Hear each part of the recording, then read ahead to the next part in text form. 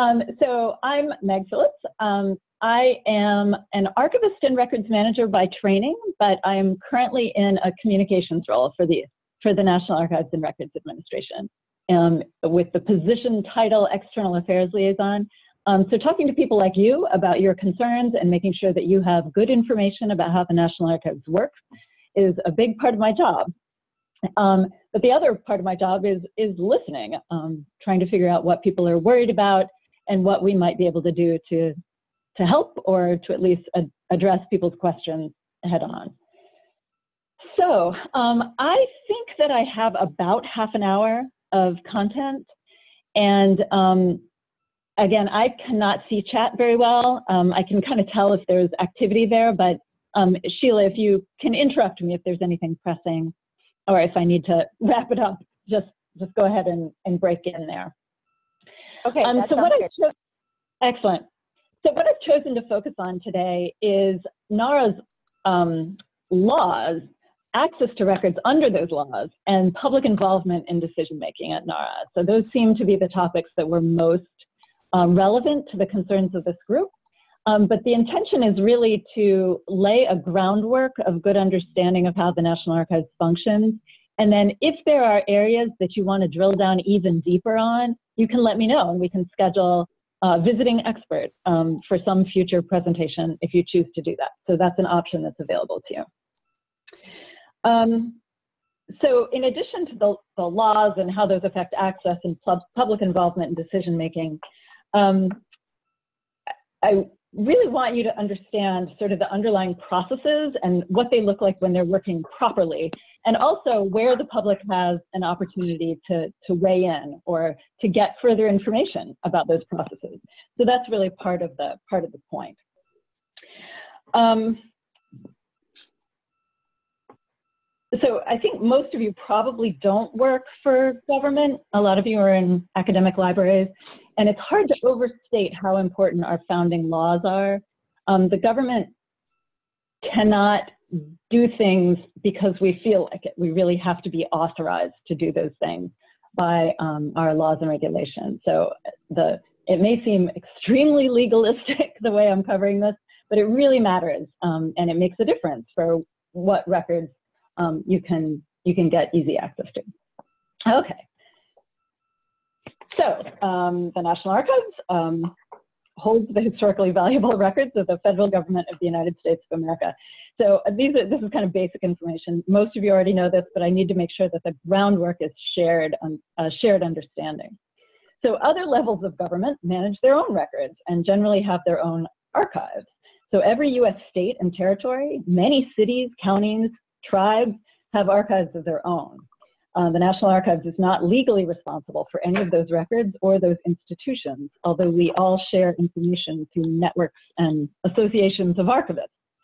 Um, so I point this out largely because it's a really fundamental point about what records the archives has and what records it doesn't have. Um, and also because the system of archives management is really different in other countries. So if you're coming from the UK or Canada or Germany, it really looks different. So I emphasize um, the federal government of the United States is, is the records that we're concerned about here. So the National Archives holds records from all three branches of the federal government, um, but which records we have and the timeline and the process for access depends on when the records were created, the part of government that created them, and the legal framework that governs them. So um, when the records were created you have to keep in mind that NARA wasn't founded until 1934. We didn't have a building to move into until 1935. So those first archivists at NARA were going backwards and trying to figure out what had survived. Um, so that matters. Actually, looking at this slide, this is a digression. Um, I had to migrate my slides into another program and it added an awful lot of bullets that were not originally there. So I apologize for the, the polka dotted effect of these slides. Um, so the, the, the laws that govern most of the records that come in um, are the Federal Records Act as amended. And the Federal Records Act wasn't passed until 1950. So again, for those first um, couple of decades, um, things were, it, it, was just a, a treasure hunt, basically, to see what of historic value had survived and should be brought into the National Archives. So, so what time period you're talking about for that. Okay, so now we're going to start a little tour of the branches of government and how NARA gets records from each of those branches. Um, different laws cover different records.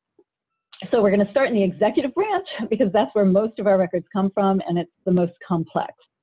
The Federal Records Act, starting in 1950, covers most of the executive branch um, and it affects other branches too. Um, the law governs how federal government records are handled and which ones can be found in the archives. Um, so it covers the main body of government, um, all the departments and agencies that get the real work of government done. However, on the tops of each branch of government are generally not covered by the Federal Records Act. So the top of each branch is its own little exception. Um, they have their own record keeping arrangements, and we'll cover those in a moment. But generally, it's safe to assume that most other records are covered by the Federal Records Act and the processes it lays out and we're going to go into those processes in some detail um, later in the presentation. So just some random examples of the types of records that we might get. Um, what's on this slide is a US Coast Guard um, lighthouse record. And um, it's just one example of many, many types of federal government records that, that have been created um, by these agencies.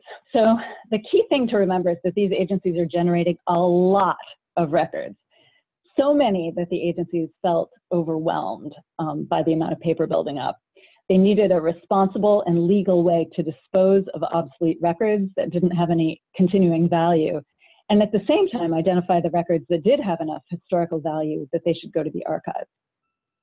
So the Federal Records Act established the process of federal records management, which is that set of rules and processes agencies use to work with the National Archives to identify the small percentage of records that are valuable enough to send to the archives and, and, and keep forever once the agencies are done with it. So again, we'll go over that in more detail later. Okay. Um, so at the top of the executive branch, again, the pattern is there's always an exception at the top of the branch. And presidential records are their own story, and they're complicated even within the category of presidential records. Um, the legal framework for presidential records changed pretty dramatically over time. So we're going to spend a moment just going over the different legal environments that cover different presidents' records. Um, and I'll just interrupt myself to say that the, the image that you're looking at is uh, taken from NARA's website, where you can click through to the presidential libraries of all of those presidents, including um, the beginning stub of the all virtual Barack Obama library. So starting with George Washington and going up through Jimmy Carter, the papers of the presidents are considered personal property. Many of the president's records ended up in the Library of Congress or university libraries. And again, until 1934, there was no National Archives to collect them. But President Franklin Roosevelt, still considering presidential papers as personal property, but actually really interested in the new National Archives project, had the first idea for a presidential library as we know it today. Roosevelt set up the model of building at his own expense a library building and donating it to the National Archives. Excuse me, and then donating the papers that documented his presidency, um, donating the records to the people of the United States. So you can hear the stress on donated there. The National Archives actually holds the records of presidents and their White House staff going back to President Hoover. Um, Hoover was paying attention when FDR did all this, and he thought it was a great idea, so he did the same thing. So he um, did it after FDR, but he was the earlier president. So if you happen to be looking for the papers of earlier presidents, pre-Hoover, um, the Library of Congress is an excellent place to start. There's some records on in universities. And there's also Founders Online, which I have to mention, give a little plug to Founders Online because the National Historical Publications and Records Commission, which is NARA's grant making arm, um, funded and supports Founders Online. And it really is a wonderful resource for um, records from many sources for the early, early presidents. Okay, the tradition of presidential papers as private property that the president could choose to donate to the National Archives started to look like a really, really bad idea after Watergate. Um, the Watergate crisis really highlighted the need to change the way the government and just the United States thought about presidential records. So at that point, Congress took action um, and passed the Presidential Records Act. Um, this is the other big branch of NARA's legislation. So the Presidential Records Act declares that presidential records are government property rather than personal property. So the public actually has the legal right to access these records as outlined by the rules in the Presidential Records Act and the Freedom of Information Act. So um, the Freedom of Information Act is actually one of our major legislations that governs um, access to these records. So under the Presidential Records Act, essentially all the records created by a president and his staff in the process of performing his presidential duties become part of the permanent archival collection at the National Archives. And they come, they, they magically switch over on the last day of the administration. So that happens regardless. It happens no matter what the president does, whether the president chooses to start a foundation and do fundraising, whether the foundation chooses to build a building and donate to the National Archives, the legal situation doesn't change at all. Um, the Presidential Records Act is still fully enforced, um, so the records become the legal property of the National Archives. Um, so just keep in mind that that situation is really, really different from the tiny percentage of federal records created by most agencies that are appraised as permanent and transferred to the National Archives. Um, it's a really important distinction. So in most cases, we're getting a tiny fraction. For presidential records, we get everything. So Reagan is on this slide with a bunch of extra bullets um, because Reagan is an important dividing line. His was the first presidency under the Presidential Records Act. Earlier libraries are what we call deed of gift libraries, because in those cases, the president donated his records and the president had a lot of control over what he chose to give, what access restrictions around those records. It's like any other um, donation agreement to a, to a library or archive. So Nixon's records are also their own little category. They're covered by their own law because Congress seized Nixon's records by passing uh, what's called the Presidential Record, uh, Presidential Recordings and Materials Preservation Act. So Nixon is his own special thing. So given those that change over time and the you know critical moment of Watergate, that means that the broad category of presidential records, even the ones just held by NARA, are governed by three totally different, um, I'll say, legal frameworks or legal arrangements. They're the um, deed of gift libraries, there's Nixon himself, and then there's the Presidential Records Act libraries. And it's the Presidential Records Act that we're still living under today. Okay, uh, finally leaving the executive branch and going into the judicial branch. Um, yet again, the top level is handled differently um, from ordinary levels of government. So the Supreme Court is not required to transfer records to the National Archives, um, but they do transfer records to NARA um, on a voluntary basis. So there's no law covering Supreme Court records, um, but they do transfer records. Um, those records are open unless they're sealed by the court or unless they contain grand jury material. Lower federal courts um, are subject to the Federal Records Act, but not subject to FOIA.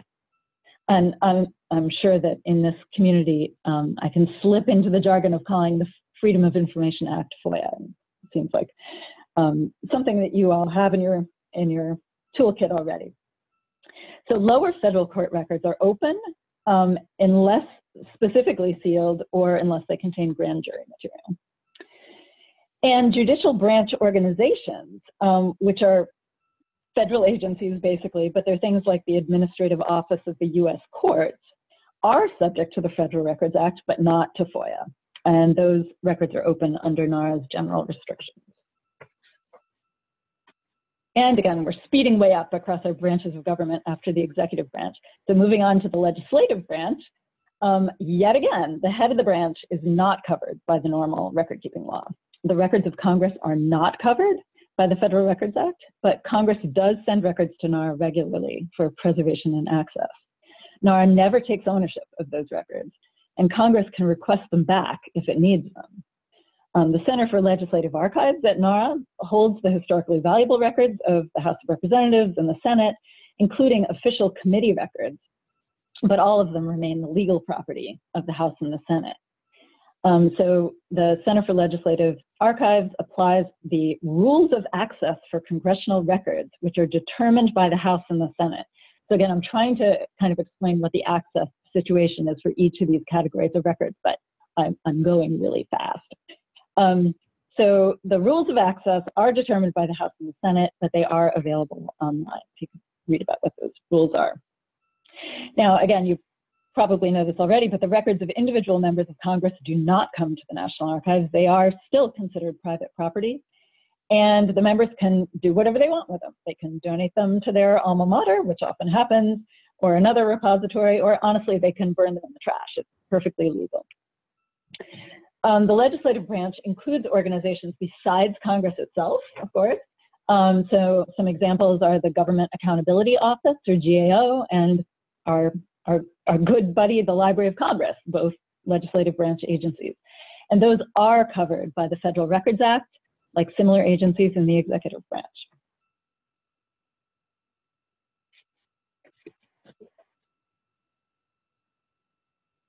Okay, so um, NARA's goal is to uh, provide access to all these records. We're taking them in in order to provide access to the public.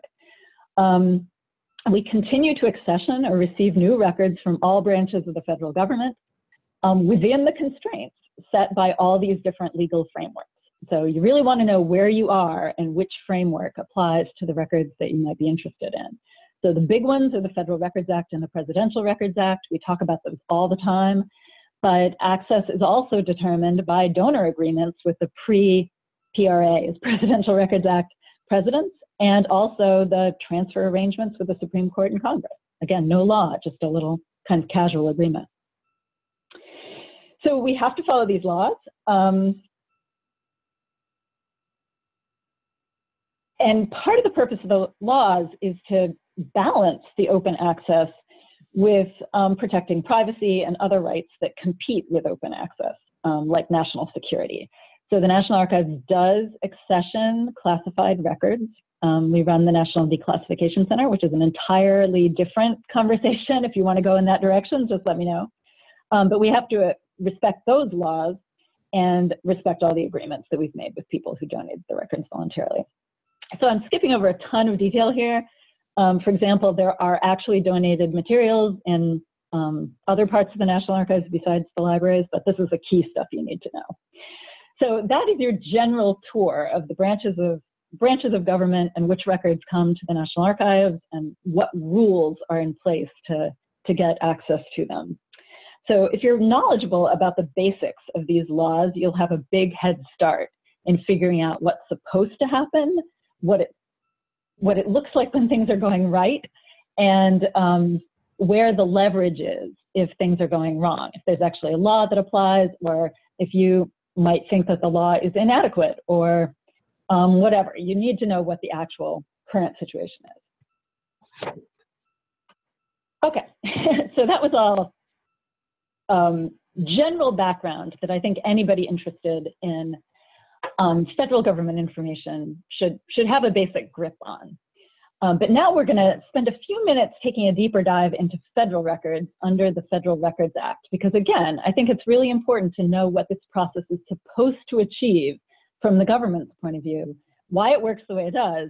And also, this is the place where the public and you in your um, uh, activist, wearing your activist hat, can actually um, participate in the process. So it's also important that the Federal Records Act is the, the domain that covers most of the government. So first of all, this is most of the records, but it's also the only place where NARA actually controls the process. So we have the right to go into agencies and evaluate how well they're doing and um, make sure that they have the right records management processes in place. We do not have that authority for presidential records, congressional records, um, or court records. So um, we have some influence, but we have no control. so that's an important distinction as well. Um, so you, you intervene where you can, and the Federal Records Act is where you can. Okay, so um,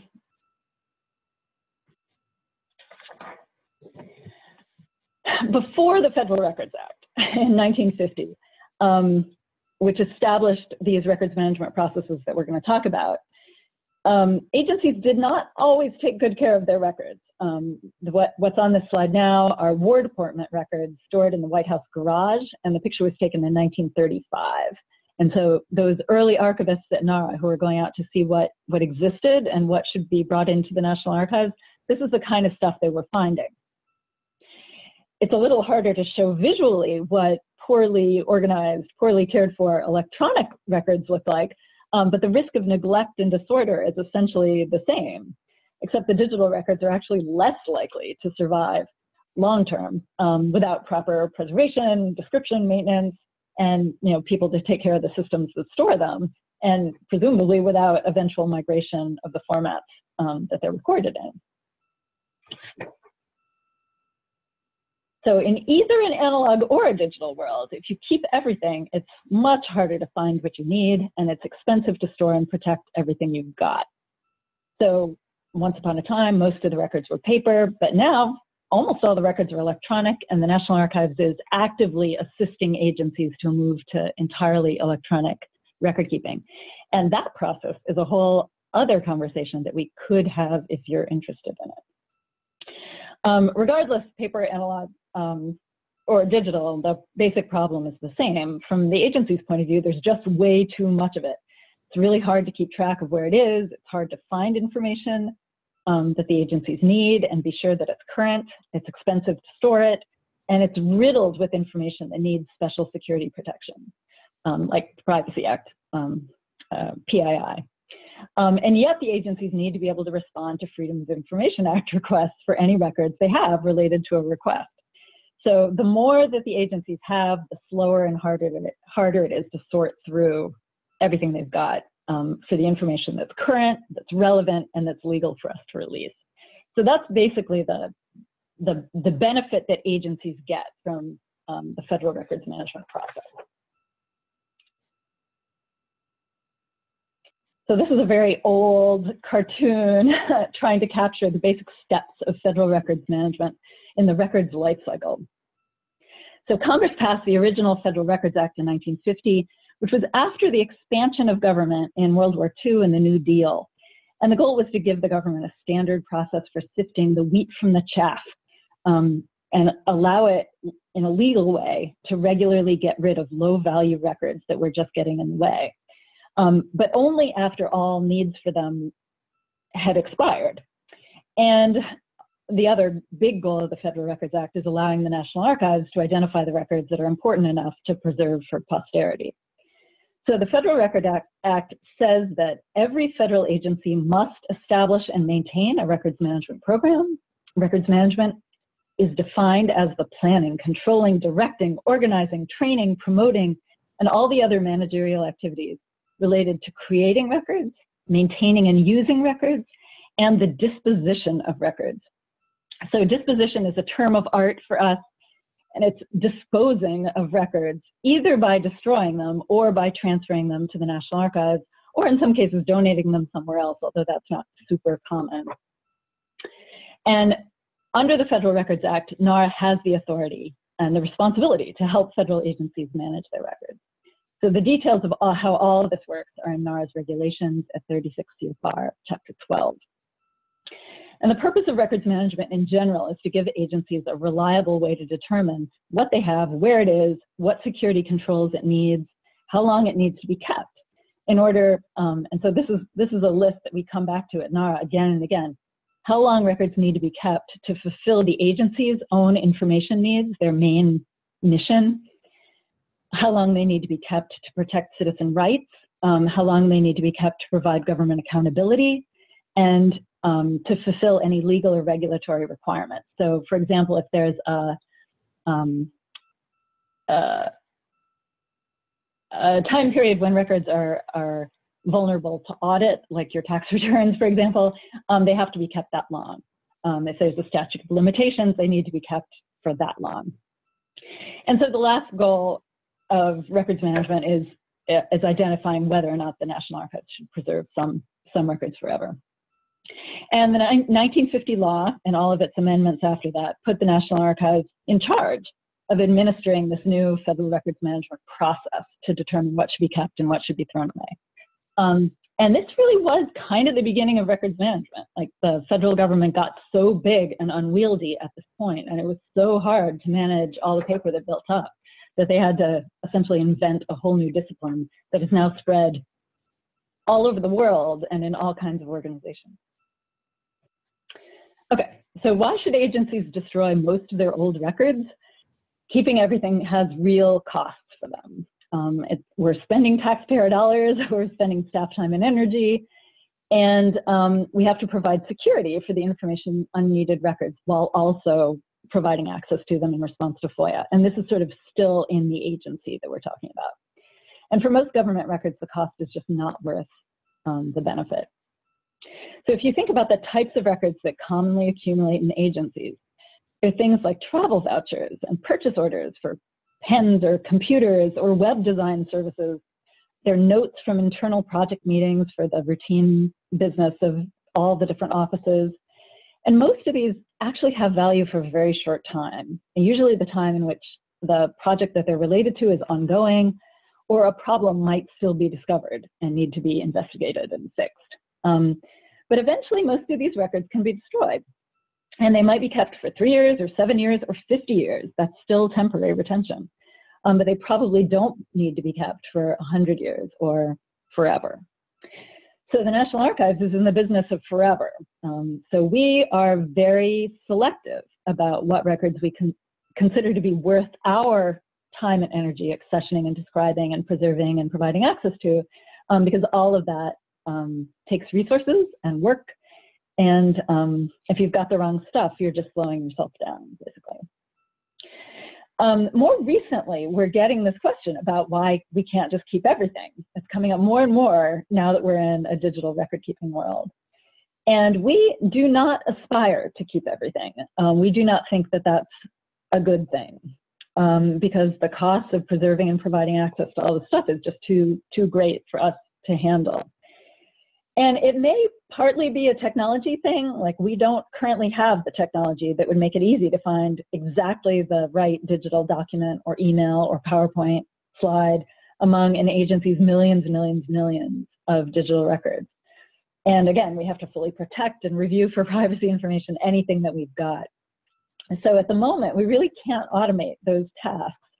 And we want to focus our energy on safeguarding and providing access to only the records that um, we're really confident have historical value and that are necessary to protect rights and provide government accountability on an ongoing, permanent basis. Okay, so this is a couple of process slides here. So how do agencies request permission to destroy records? They request permission by submit, submitting a proposed record schedule or records retention schedule to the National Archives. The schedule describes groups of records, types of records that have something in common and proposes a length of time that the agency thinks they should be kept um, based on all those things that we talked about before. Most temporary records are destroyed, but donation is also a possibility. So who can give agencies permission to destroy their records um, or to transfer to the archives? Um, so the Archivist of the United States is the short answer to that question. But National Archives appraisal archivists appraise the records on the schedule to see if they agree with the proposed disposition that comes from the agencies. Um, they often go look at the records, they analyze other schedules that are related, they look at how those records relate to other things that might have more, um, a more digestible form of the information. So if things get rolled up into a report that's just easier to, to understand and manage, they might authorize disposition of even very important information if there's just an, another way of getting access to that that they think is easier for researchers. So if a schedule contains temporary records, records proposed for destruction, a notice of the proposed schedule is posted in the Federal Register. Um, if, if all the records are permanent, it actually does not need to be posted in the Federal Register because we assume that the risk of destroying records inappropriately is much lower um, and to guide decision making about what has permanent value and should come to the archives, NARA uses an appraisal policy, um, which is available on our website. So if you want the link to that, I can send you the link.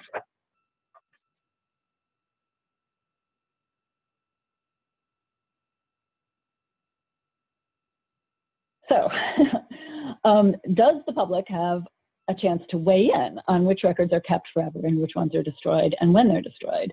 And the answer is absolutely. Um, anytime an agency proposes records for destruction, we solicit comments in the Federal Register. So you can monitor the Federal Register at federalregister.gov. Um, and on the next slide, you'll see what those notices actually look like. The important thing to know here is that um, since um, just for the last couple of months, we made an important change to this process. Um, and now the full proposed schedules and the appraisal reports are posted at the same time the Federal Register notice goes out. And they're posted at regulations.gov, and comments can be submitted online in regulations.gov.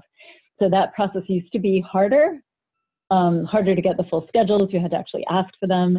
So this is a really important um, uh, improvement in transparency and usability for, for public comment from, from our point of view. We hope that it is.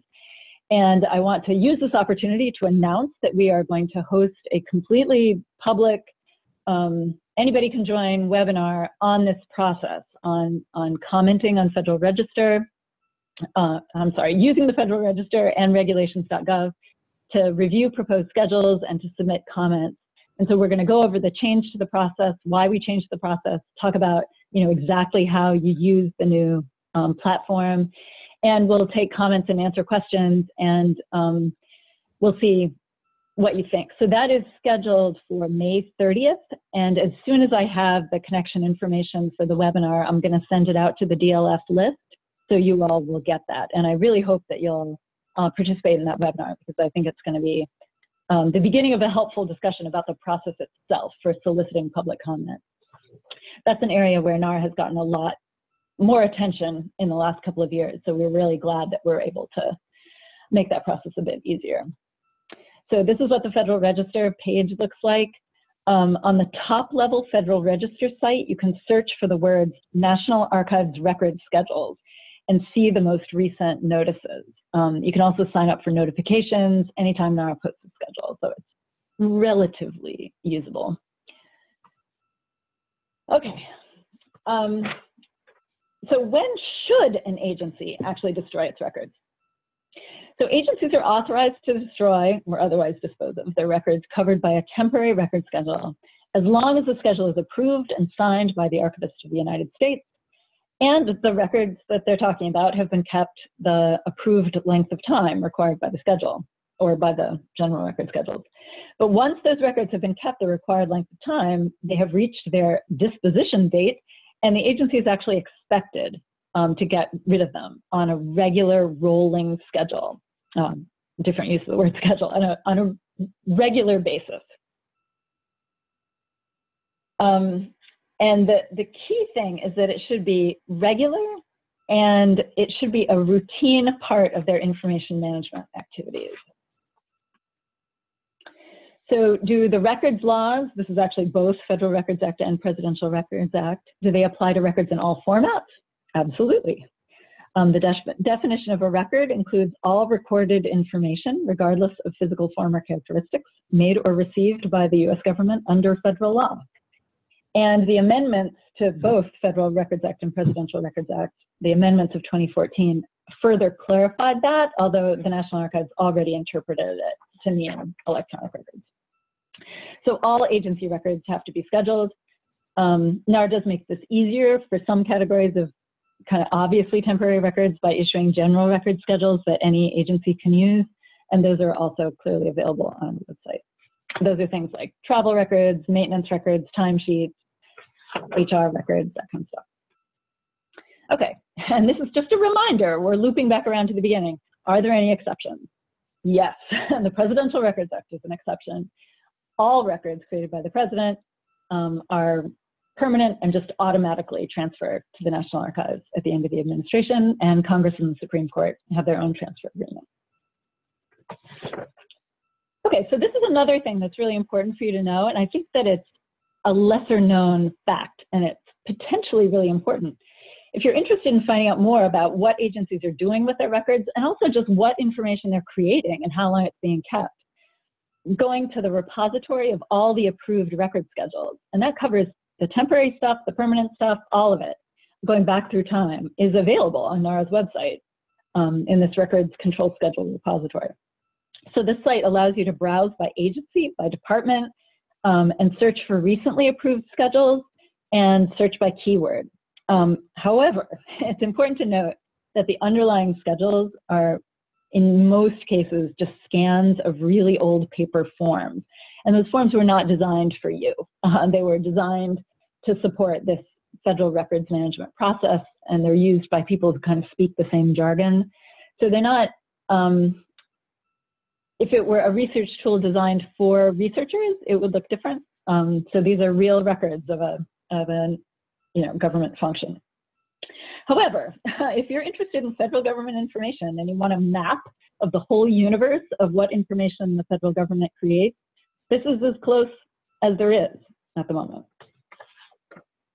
Okay, um, so in some ways this is the very heart of the matter. How can you tell if a record's destruction is appropriate? Appropriate destruction of federal records has predictable characteristics. The destruction is routine.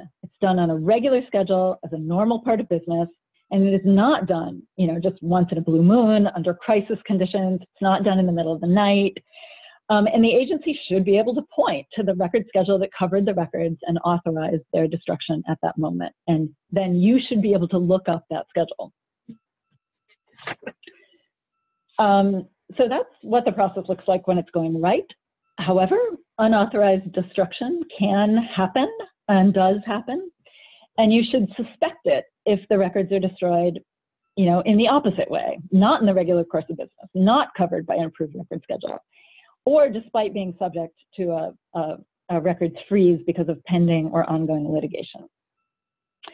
Okay, um, there is, if you given all that, if you genuinely suspect that federal records are being destroyed or disposed of, meaning um, alienated, basically given to somebody outside the government in a way that's inappropriate, we want you to report it to the National Archives. And there's an email address where you can report that at unauthorized disposition at nara.gov. And the unauthorized disposition um, function has a fairly new website, and this is part of NARA's own um, attempt to improve transparency about our own processes that we started posting all of the reported um, instances of unauthorized disposition along with copies of the letters that we sent to agencies to follow up and the final letter resolving it. Um, so all of that is available on NARA's website. So um, to wrap up here, I, I, know I've gone on much longer than I was supposed to here.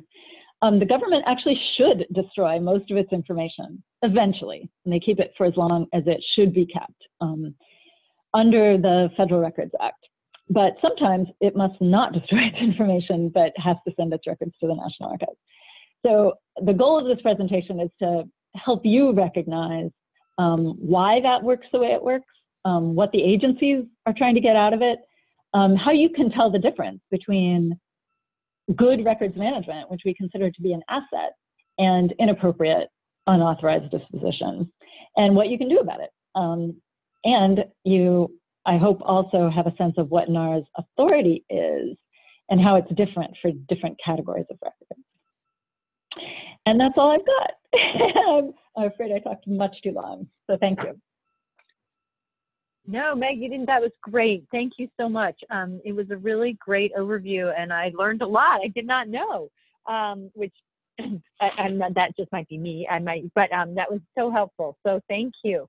Um, do people have questions for Meg, um, either about um, the law, you know, what she's talked about, what the laws that um, are, the National Archives are covered under, um, or some of the um, record schedules and how that is um, how that is handled by the National Archives.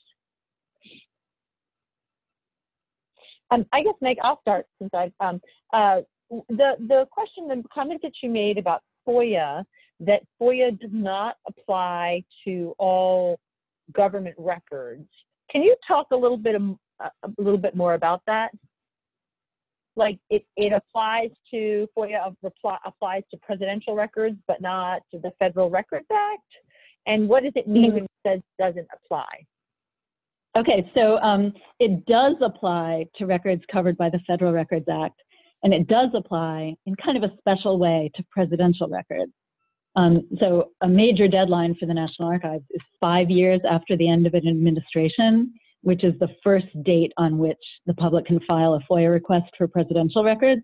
And so it really drives the development of um, our processes for that um, presidential library. Like we're trying to either anticipate what's going to get FOIA'd first um, or whatever. So the the most important, this is just like how government really works in the real world. So Congress is passing these laws. There is no law governing the records of Congress. There's no right to FOIA for the records of Congress because Congress is in charge. Congress is writing the rules, right? So it's actually kind of logical in that way. Um, and it's, it's, I think similar, I actually know much less about judicial branch records, but I think it's kind of a similar thing. Because there's no law, they don't have to transfer the, to them, uh, transfer the records to NARA at all. And so they don't have the same um, sort of access requirements that records that are covered by these laws, uh, federal records and presidential records are. And so does the does the national uh, sorry the de declassification center is that who like if you FOIA something and it's classified, it goes to the declassification center to find out if it can be opened in response to your FOIA? Um, I will confess that exactly how that works is a little bit beyond my expertise, but I think that's roughly right. You do have the right to file a FOIA for classified information. Um, if it is properly still classified, they will keep it closed, but if they can open it, they will try to do that. And I mean, if people are interested, that the, the people at the National Declassification Center have what I think is a fabulous motto, which is um, releasing all we can, protecting what we must.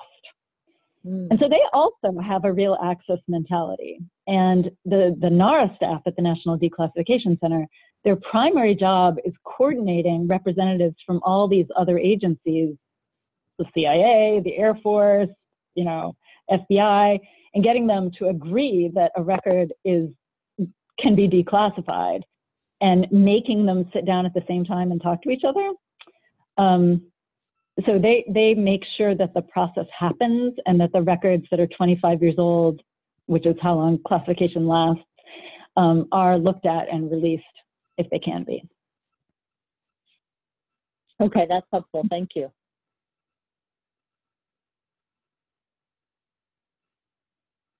Anybody else with a question for Meg? We're, we're running short on time, um, but Meg, your presentation was great, so I, I, appreciate you taking really taking the time to delve us into that.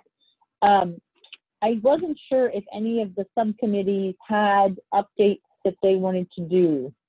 Um, uh, the um, advocacy, outreach, education, logistics, or whether there might be more questions for Meg. We have sort of like five minutes left, so we can use it however people would most like to use it.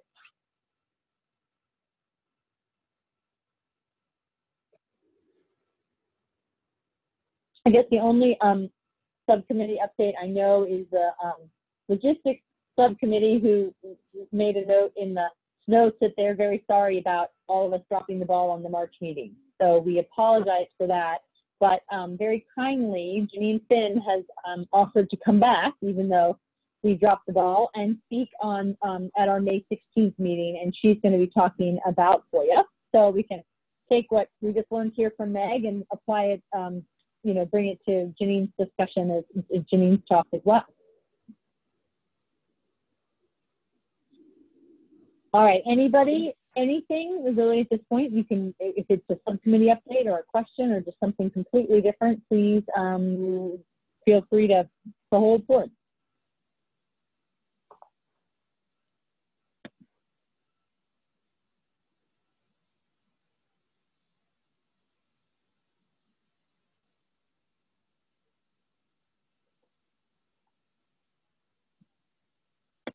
All right. Well, um, I guess that's it then. Um, Meg, once again, thank you so much. That really was so helpful. I took so many notes, and I can see that Brandon also took really great notes. So um, we'll get those up on the wiki so that other people can see them.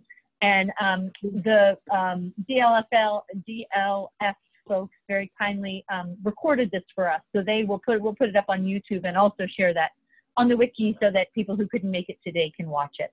So thank you guys um, so much. And um, Meg put a comment in the chat that if you she's on the list serve, her email is available. So if you have any questions, feel free to either put them on the list uh, to put them on the list serve, and she will follow up um, to answer them. All right, thanks so much, guys. See you all again. Our next meeting is May 16th. Um, I don't know the time off the top of my head, although I could probably find it if you give me just a second. Uh, oh, actually, I, I don't know. Oh, there it is. Um, May 16th at 1 p.m. Eastern Time. So we will hopefully um, see you all then. Thank you so much. And thanks again, Meg. Thank you. Thank you for having me.